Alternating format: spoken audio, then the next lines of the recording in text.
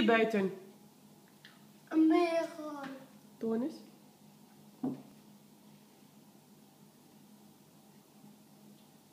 Wat is dat? Een meegaan.